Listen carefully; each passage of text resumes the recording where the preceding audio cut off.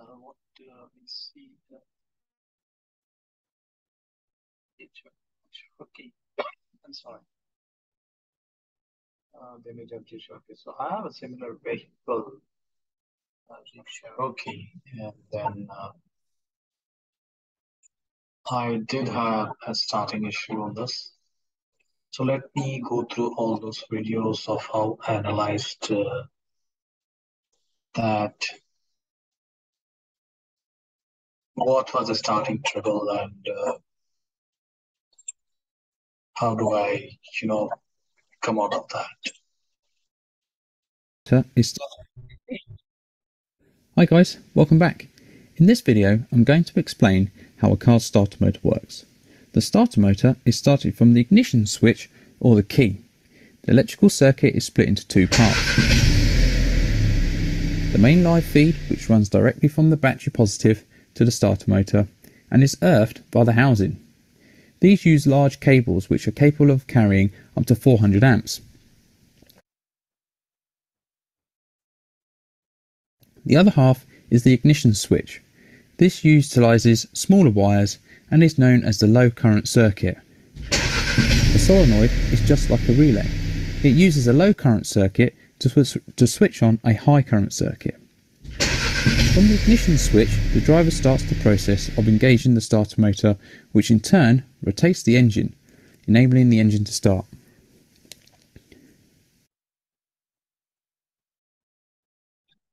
So we did see now how the starter motor works.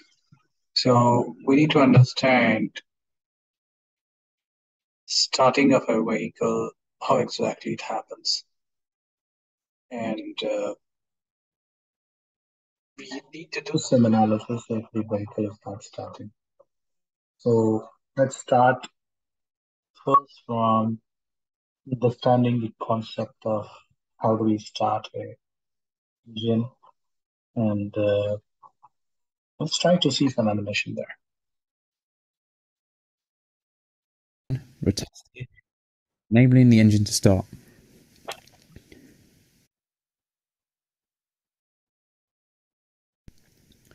Current flows from the battery via the ignition switch and onboard computer to the start. So what you see here on the left side is a flywheel. The flywheel is part of your engine. And uh, you must have seen in olden days that the car stopped. They would use a big handle and uh, you know crank the engine manually. Let's see some video on that so that you will start understanding concepts more.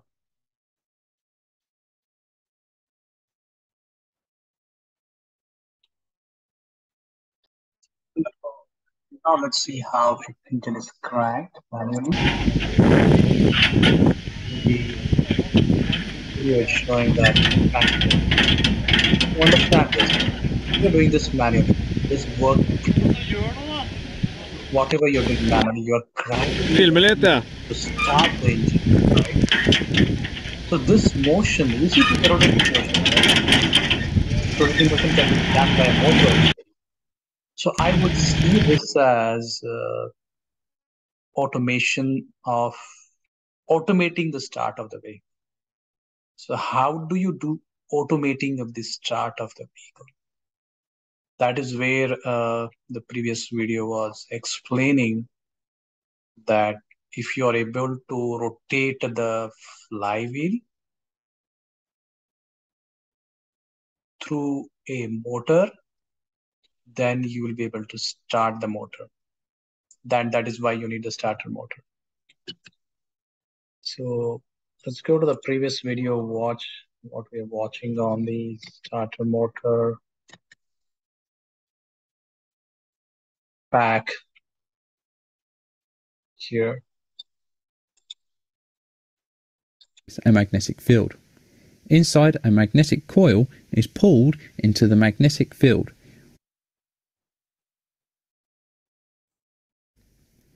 The coil movement sets a lever mechanism in motion. The engaging lever presses the starter pinion in towards the flywheel ring gear. This is the toothed area around the outside of the flywheel. To prevent the pinion gear teeth from pressing onto and damaging the ring gear teeth, the pinion is driven by a thrust screw motion, meaning it turns as it's engaged. The teeth screw into the ring gear teeth gaps, and this allows for smooth and precise engagement. This common type of starter motor is known as a pre-engaged thrust screw drive starter.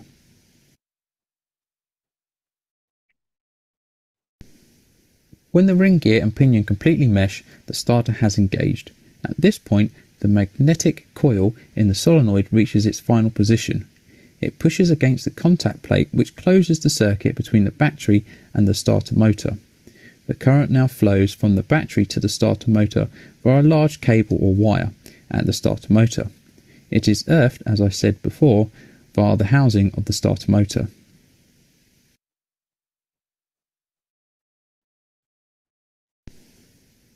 The current causes the motor to spin. The spinning motion is transferred to the pinion.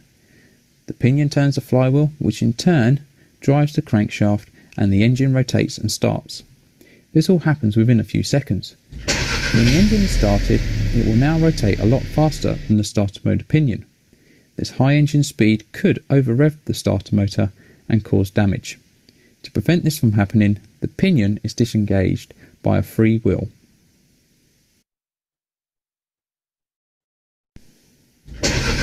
Driver releases the starter button Yes, now this is explaining the concept of how your engine is starting. And the pinion disengages because of freewheeling, right? There's no sensor involved there. Now, what is the, after seeing this, we should be able to understand a relay diagram. And then uh, what we can understand is that if your starter motor is not becoming on, then there is an issue due to which your vehicle is not starting. So let's try to see if we can catch hold the relay diagram of my Jeep Cherokee 4.7 liter V8 cylinder. So I'm going to make you go through the relay diagram just to understand the electrical circuit diagram of what happens uh, when you press the start engine, where the electrical connection goes, and how do we troubleshoot that.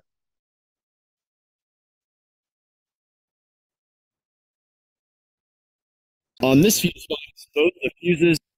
Hold on, guys. I've got a 2000. So now let's see uh, the fuse diagram. Let's look at where the relay is and uh, how the computer gives signal for the relay to start the to give power to the starter motor when you cue the ignition switch on. So let let us see how it's explained. Six Jeep Grand Cherokee. And this thing has a total of three fuse boxes. There's two here under the hood and there's one more inside the car. On this fuse box, both the fuses and the relays are labeled, but on the other two fuse boxes, none of the fuses are labeled. So I'm gonna go ahead and go over in detail uh, what each fuse does.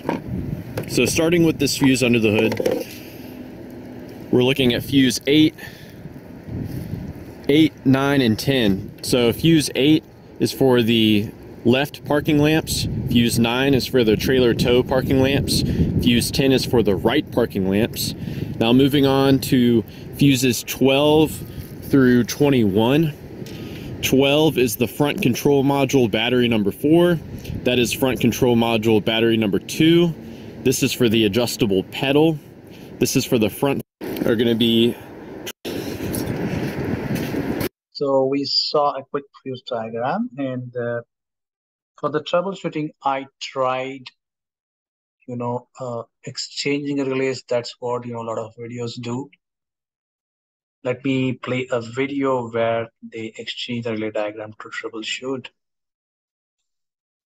Send Uh, uh, ground. I switch it to power, and now I can So I know, check in here. the So I got pretty good. I didn't want to. Um, I put that test light on the starter, which I know is uh, So I didn't want to touch the starter motor first. So I started analyzing uh, was the electronic electrical problem. I'm a software engineer and then I would like to do more troubleshooting electronic electrical before, you know, touching the mechanical.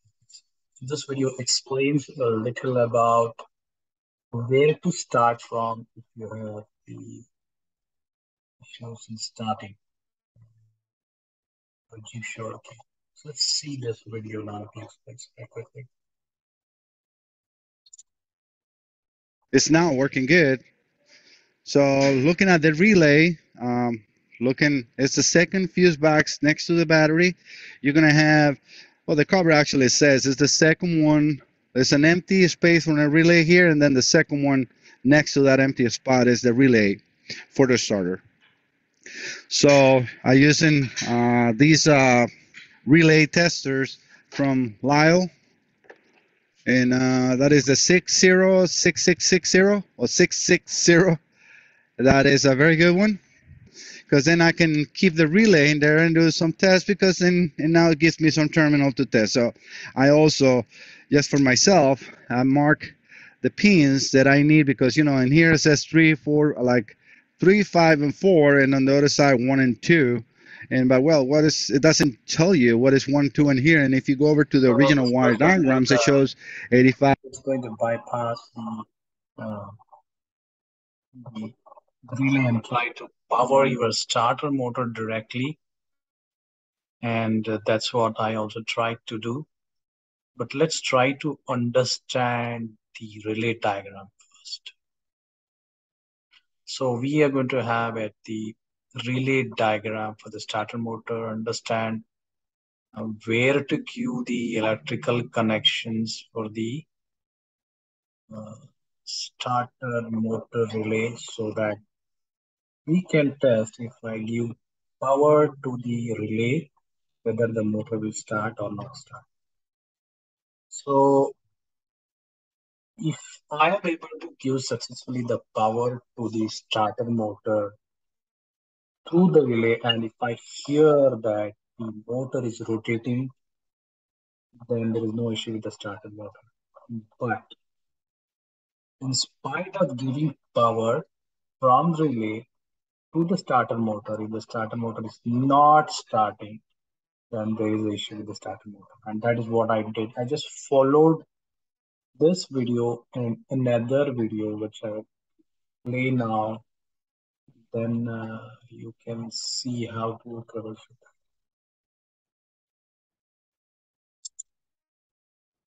The starter, that's the So I'm impressed by uh, this video. It was done by Sam Owens. He explains very beautifully. Thanks, Sam on how to troubleshoot uh, if there is an issue with your electrical circuit relay or motor. You know, let's watch this video. Uh, I'll run this video for a very short time so that we can see this. starter solenoid contact. The other side is coming from one of these battery supply places over here to there. I'm eliminating that and I'm going to take uh, this lead and I'm going to put it on the battery terminal. It's going to go through a 15 amp fuse, very important. And then the red side Now my Jeep was uh, 4.7 LV8. You can see this. And his is 5.7 LV8. But the troubleshooting process is almost the same. There is no difference. Let's hear what he says. Uh, before that, I want to see if I'm getting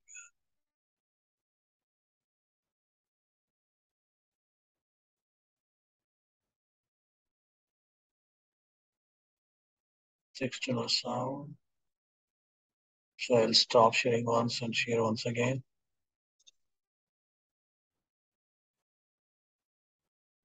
Yes, I have it. I'm going to share and then start this. is going to be connected to the alligator clip, which is connected to the other side of my push button switch on my dash. So when I push the push button, it's going to send this battery through that fuse, through this lead, through the switch, and down to the starter solenoid. So if I have a problem, then I know that this contact is my source of problem. And here is the wiring diagram for the start circuit for the 05 Jeep Grand Cherokee. Shows the pin layout for the uh, start relay and also uh, a test setup to uh, manually operate. Yeah, to make this simple, uh, I would explain this way is that you see this uh, relay diagram, right? You see the connection 27, 29. and then you see the wire switch. So this is a solenoid here.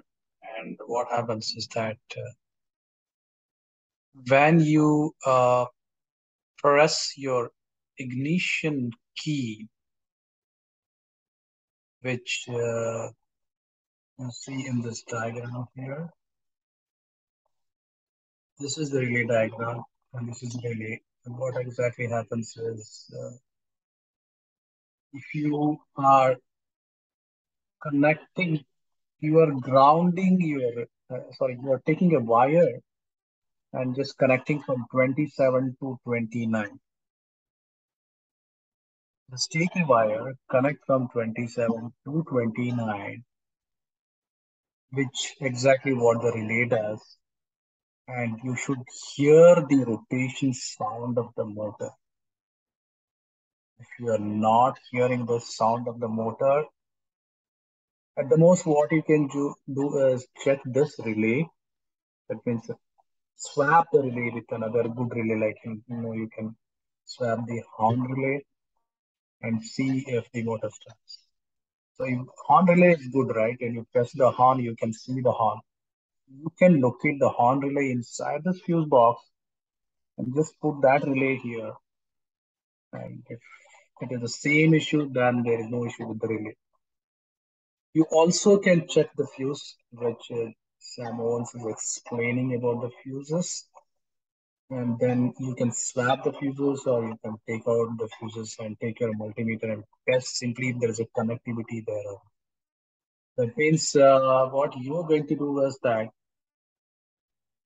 I'm just going to put the, uh, so you know you can take a multimeter and measure the resistance of a conductor or you can see the voltage of a battery. So let's see what Sam Owens is explaining now a little because he gave me the start of how to you know do the diagnosis.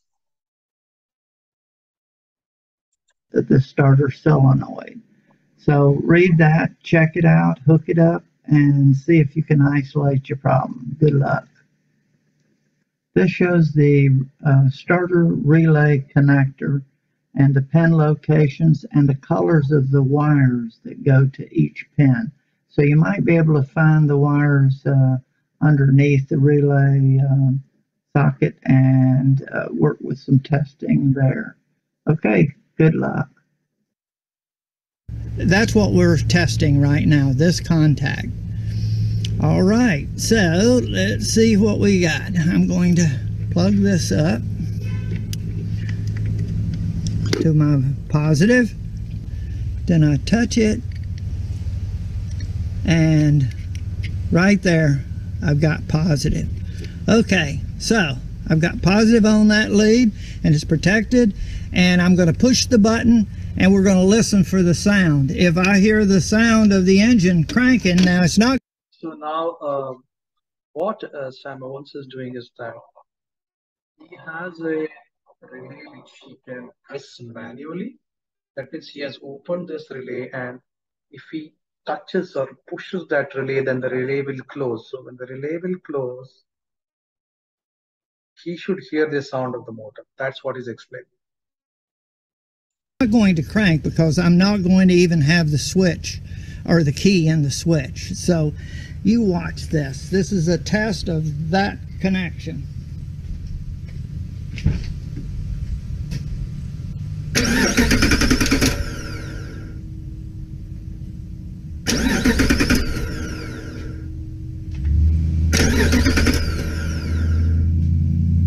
So you see that now when he's trying to, he has done a short circuit for the relay here.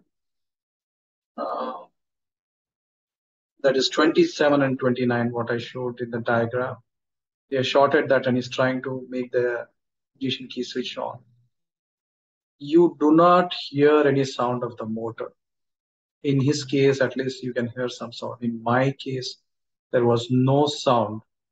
So, you know, I concluded that there is an issue with the starter motor. So let's see further. You know, I actually went inside and uh, tried to remove the starter motor. Let's take from there and then, you know, I'll show you how we did the analysis. This is the first step. Since I need What we need to do is that once the vehicle, uh, first step. uh, you have to uh, put your vehicle on a ramp. So that's what I'm explaining here, that how to put vehicle on ramp. So ima- one most important thing I am advising for people who do not have any background right in the uh, mechanical side, who have always worked on software or electronic subject, that if you have curiosity to uh, apply your analysis to a non-software like mechanical engineering, something, the, the first and foremost thing is you know, think about your safety because you may be driven by the power of curiosity, which is making you, you know, drive to put your analysis there. So remember this that always, always think more about safety when you start troubleshooting. This is, this is what I'm explaining here, uh, how to, you know, put the vehicle on that. So from the beginning, The vehicle, uh, first step. Since I knew that was a starter issue, I put the vehicle on a ramp. This is the ramp, what you see. And uh, I put ramp on both sides. And I made sure that this is very important when you watch this video that you put a stopper behind. And I have also put a jack stand there. If you see this, this is for safety. Uh, the jack stand, whatever you see. And uh, this is going to make sure that you're totally safe. So you, your, your vehicle is on ramp, it's on a jack stand, and there is a stopper behind, and then you are very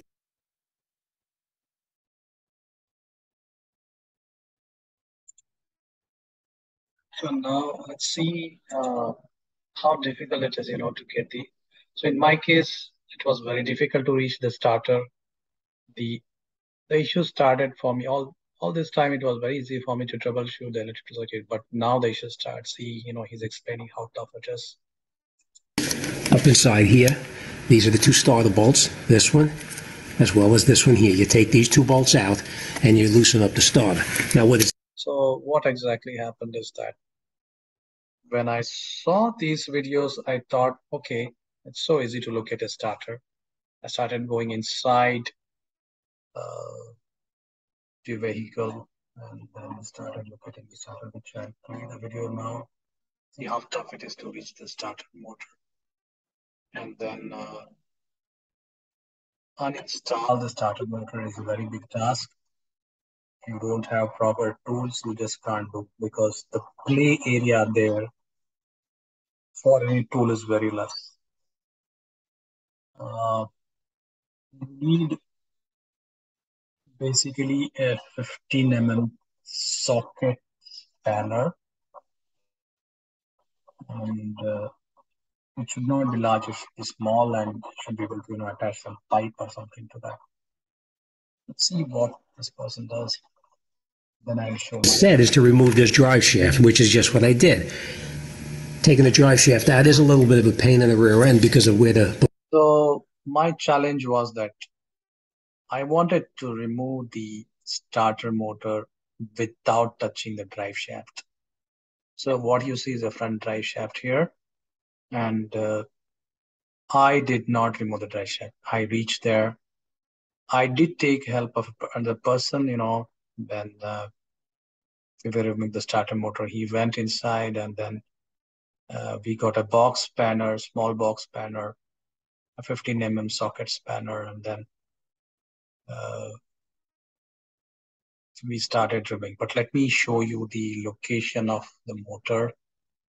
How did I locate that so that you know before you start the job, remember this that there are some parts which are very hard to reach. You can see with more nearer So now I've gone inside uh, the vehicle and trying to show where the starter motor is. picture of the motor, starter motor, which is mounted here, and uh, I was able to start my engine. Uh, let me make you hear the sound of the starting of.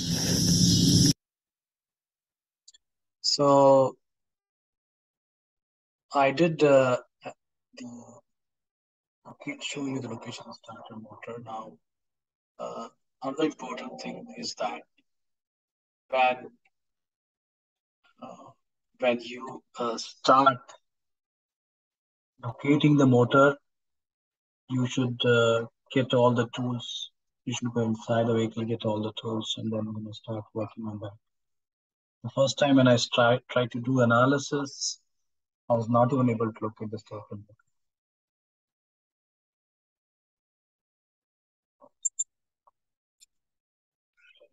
when I started analyzing the starter motor, a lot of people told me that you just remove the the driver's side wheel. I think it's in the left side, and then you can see the starter motor clearly, right? This is what I saw from the driver motor. This is the image which is shown. I can expand this to show a better look. And then uh, this is the view you get when you open your left side wheel, whatever you have, when you open the cover of that, this is what you see the view, right? I thought initially this is the starter motor. And I started assuming I should remove this. Then later, when I went down the vehicle, I was able to locate where the starter motor is. So I don't, I have, I don't work in the mechanical field. I don't work on the uh, engines. I don't work on the, you know, I'm I'm in I'm in software. I don't touch all these things. Since I had I had some background in manufacturing, I thought that I should attempt this. But now you see that first my first positive point was that I started understanding that I'm concluding something wrong and I should locate the second motor. So that being said, we will play a next video of you know how uh, I located the starter motor.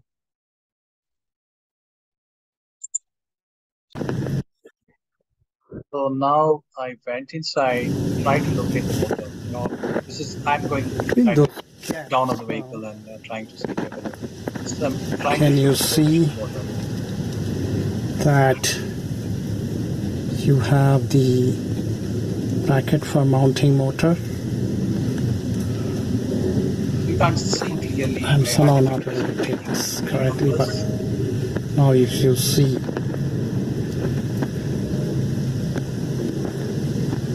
will be able to see that it's a mounting of motor here, It's very far. and then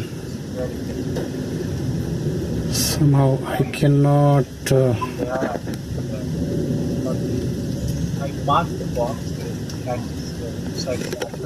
take this further. But this shows pretty much, you know, my that the bracket is open do I take it? of the motor. And you have two wires hanging there. Do you see that? So those are the two wires which would go inside the starter motor. One would go for the motor, one would go for the solenoid switch. Yeah, this is a photograph have, you know, starter motor with Window. be sure Yes, now. that there's no then you reach and try to remove it. Observe this. The reason which due to which the motor was not running at all. Yes. So I'm going to replace this with a new motor, but I was able to, uh, you know, find out what is the issue with the starter motor, which I'm explaining this video. So a lot of people may not understand what is inside an electrical motor. Those who have never gone there, they will not understand. But I'm going to explain uh, so that everybody can understand. Play this video first. one of the teeth is damaged here. So what you see here is something known as commutator. Why it is called as a commutator? Because it helps in commutating the electrical energy from the brushes to the coils of the stator. So this is damage, so you can see it. And that was the reason my starter motor was not working at all. So let's see a little explanation on this. This is the starter motor. This is for the Jeep Cherokee 2005. So I removed the starter motor and then observed this. The reason which due to which the motor was not running at all. Yes. So I'm going to replace this with a new motor, but I think once your commutator is damaged, uh, you have to buy a new commutator and you know this press to this.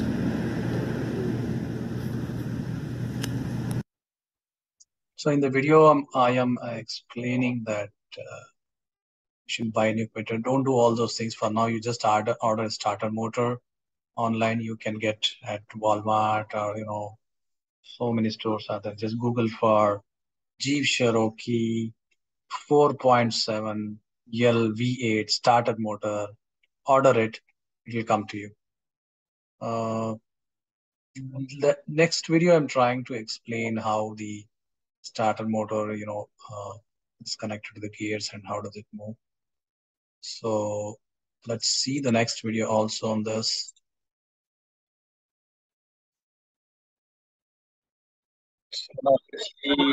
Let us see now. I, I open the part of the motor, stator motor, which is explaining you what's going on there.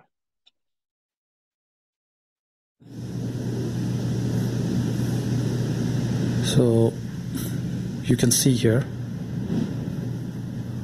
This is the solenoid, and then this is the gearbox. It has three gears. So the spindle of the armature goes here, and then rotates all this. Th- So what I mean is here that the stator has a spindle, right? The stator has a coil, which is which which we do winding at the stator, and it is also a spindle. So the spindle will go here. There will be a gear, so you put inside that. three gears. And uh, when it rotates these three gears, the behind gear starts moving, which helps you for cranking.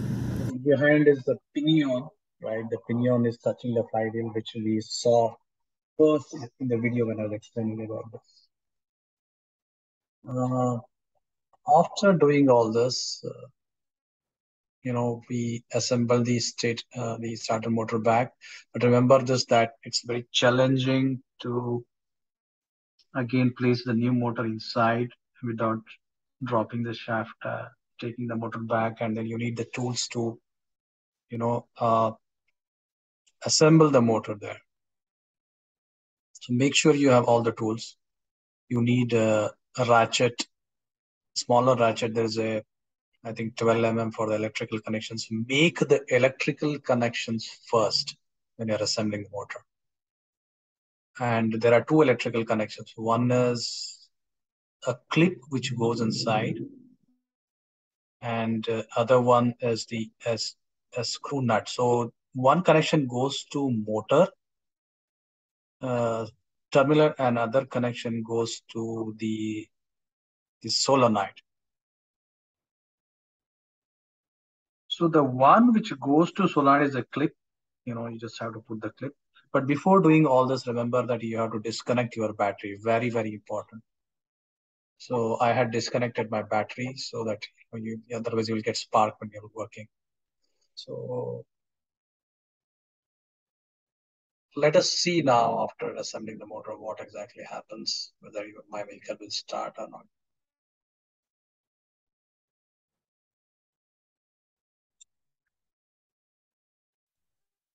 Hear the sound. Uh, So now I have assembled the motor, right? The starter motor. Uh, sorry, not assembled. I mean, I have, I have installed this motor uh, in the place of the old motor, right? There are two mounting bolts. I put two mounting bolts. I finished the electrical connection. There are a lot of videos on how to do that.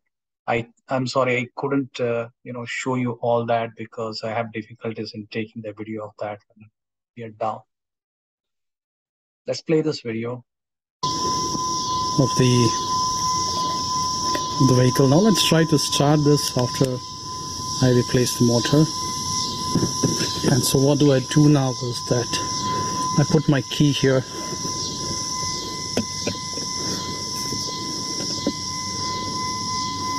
And then let's try. There you go. My vehicle is started now after replacing the starter motor. That's it. Have uh, a good time troubleshooting your vehicles when you have problems. I have kept my uh, details below. If you like, please do subscribe to my channel by pressing the subscribe channel button. Thank you. So this was a moment of happiness for me that all the analysis we, we did, you know, uh, for the Jeep Cherokee uh, paid off. Uh, the vehicle was starting. Thank you all for watching this video. If you like it, you press like button. If you want to subscribe, please subscribe. I will put some more videos. Uh, you you need to understand as engineers, right? Maybe as engineers, we are not just uh, uh, software engineer. We have engineer mind which can do analysis. Software we do, you know, uh, a lot of uh, complex defects. You can use the same mind I'm telling you, to analyze the issues with your vehicles. Uh, this analytical mind with some background, some videos, but make sure that you put your own judgment when it comes to safety. You know, don't just believe videos. Make sure that you're safe when you're working on this. I would not advise, please take my word, that people who have zero knowledge in the mechanical engineering, right? Do not attempt this. Don't, don't put on me, right? Make sure that whatever you do, you're safe on this. You worry first, uh, first about the safety and then you start worrying about the troubleshooting. Thank you for watching this video.